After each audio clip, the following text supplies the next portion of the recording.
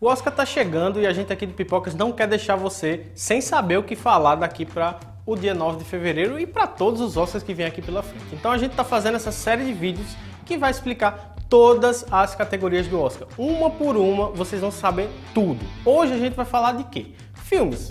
Oscar é filme? Nem sempre. A gente vai falar das categorias que especificamente premiam o filme como obra completa. Então a gente tem os documentários, animações, filme estrangeiro e várias outras que eu vou te contar depois da vinheta. Roda aí.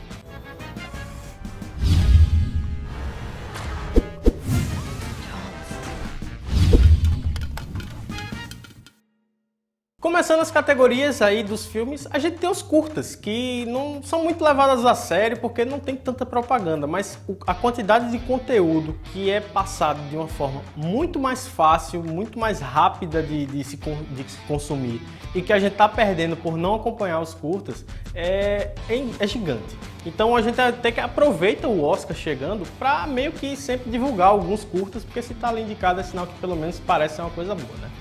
A gente tem aí três categorias que envolvem os curtas. Lembrando que para ser considerado um curta-metragem ali pela academia, ele tem que ter menos de 40 minutos de duração. O primeiro é o mais simples, que é o curto em live action, que nada mais é do que o melhor filme para os curtas-metragens, então não tem muito segredo aí não. A gente tem também o curta documentário, que assim como um documentário, então acaba retratando muito do ponto de vista do documentarista sobre um acontecimento histórico, sobre uma situação, sobre um lugar, alguma coisa que ele quer ali documentar e vai passar o seu ponto de vista para isso.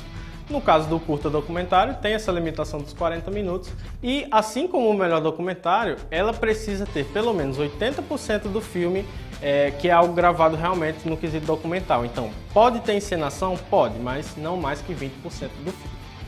E a gente tem também o curta de animação, esse que é a categoria de curtas mais conhecida, principalmente aí por causa da Pixar, que nos últimos anos sempre traz um curta-metragem animado antes da exibição dos seus filmes ali no cinema. E a gente sempre tem muito material interessante da Pixar, mas tem muita coisa boa também fora da Pixar, então a gente tem que aproveitar para ver isso. No caso do curta animado, além dessa, desse quesito dos 40 minutos também, a gente precisa ter 80% do filme baseado em algum produto digital animado. Então tem que ser gerado ali no computador em animação. Como eu já tinha dito, a gente tem aí o documentário em longa-metragem, que aí agora é o quê? Mais de 40 minutos e a mesma coisa do, do curto. Então, precisa ser alguma coisa documental, pelo menos 80%, então pode ter encenação, mas não mais que 20%, e vai acabar retratando aí o ponto de vista do documentarista sobre algum aspecto que, todos esses que eu já citei, que a gente acaba, acaba conhecendo.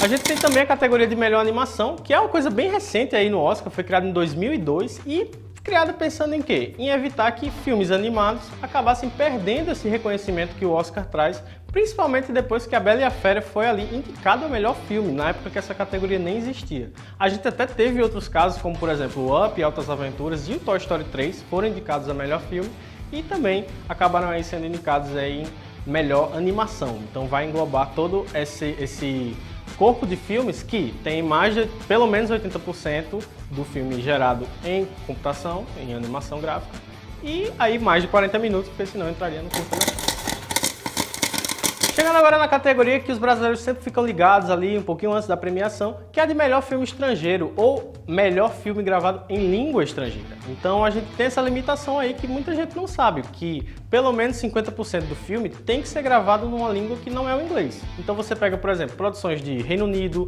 produções de Austrália, que são nativos do inglês, eles não estão aptos para participar aqui. A gente vê muito domínio aí, principalmente da Itália, de países hispânicos também ganhando sempre, algumas produções japonesas também, asiáticas e tal. Mas esses países específicos aí, falantes do inglês, acabam não se classificando, vamos dizer assim, para entrar aqui. Lembrando que não necessariamente é a academia que vota nos indicados, ele só vota para os ganhadores. A gente existe um comitê que a gente tem um comitê que pega todos os representantes que os países enviam e vão diminuindo meio que um chaveamento ali até chegar nos cinco grandes indicados. Sendo que cada filme representa a produção do seu país. Então, por exemplo, quando você vê um filme ali vencendo o prêmio de melhor filme estrangeiro, ele não está necessariamente dando o Oscar para o diretor do filme, para o produtor do filme.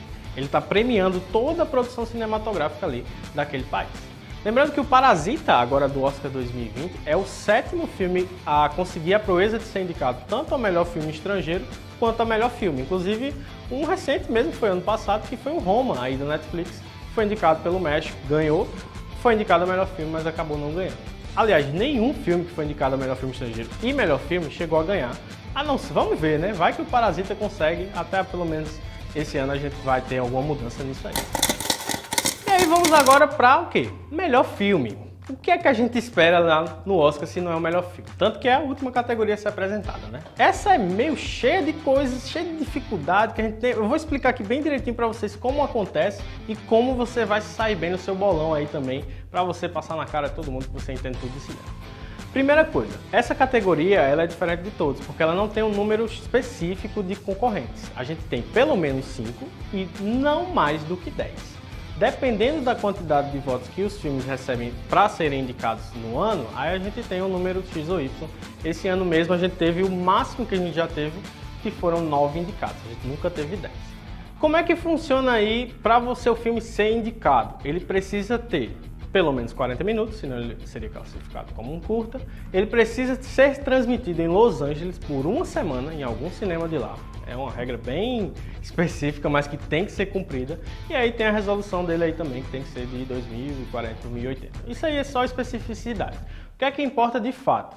É que todo mundo da academia vota em melhor filme. Então, tanto para ser indicado como ali no final. Então, como é tanta gente votando, a gente nunca tem uma unidade, uma uniformidade no que diz respeito aí aos favoritos. Por isso que a gente costuma ter surpresas muito mais na categoria de melhor filme do que nas outras, porque é uma categoria mais subjetiva, é aquela que a pessoa vota no que der na telha dela.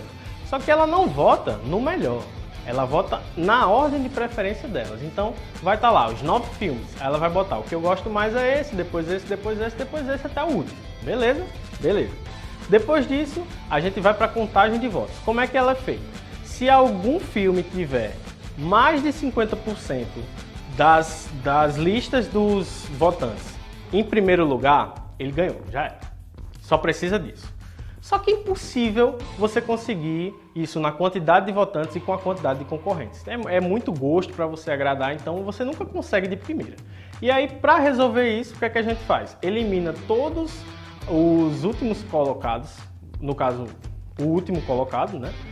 E aí ele que recebeu menos primeiros lugares, as listas que tinham ele em primeiro lugar, ele é riscado e aí o segundo lugar dessas listas passa a valer como novo primeiro. Então ele ganha novos votos. E aí vai refazendo essa contagem até alguém conseguir 50% mais um dos votos. O que é que isso é importante para você saber quem vai ganhar o Oscar de melhor filme?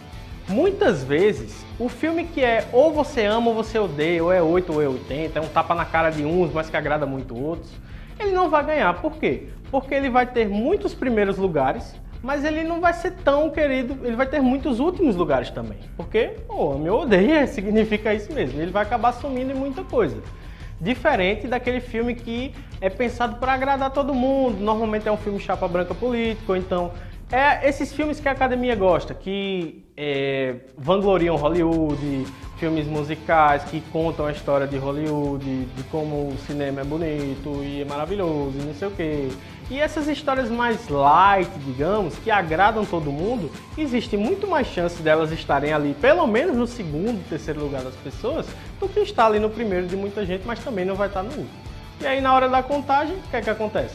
O segundo, que tinha mais segundos lugares, é normalmente muito mais importante do que tinha primeiro. Um exemplo que eu lembro muito bem ali é A Forma da Água, que ganhou o Oscar de melhor filme quando muitos consideravam ali, por exemplo, o Três Anúncios para o Crime muito mais é, apto para isso, mas que muita gente acabou tendo a ferida tocada e catucada e acabou não, não gostando do filme, por isso que ele acabou não ganhando. Esse é um exemplo, mas que se você for voltando para trás, você vê que normalmente esses filmes aí mais tranquilos, mais light, acabam sendo os mais os que têm mais chance de ganhar o Oscar de melhor filme. Leva isso em conta pro seu bolão. Então é isso, essas foram as categorias de filmes. Lembrando que a gente tem aí a playlist com todos os vídeos que explicam todas as categorias do Oscar. E aí, qualquer dúvida que você tiver, manda um comentário aí. Aproveita, curte também, se inscreve no canal e ativa o sininho para toda vez que lançar um vídeo novo, você vai estar acompanhando aqui com a gente, beleza? Eu sou o Menino Martinho e fico por aqui. Até a próxima, tchau.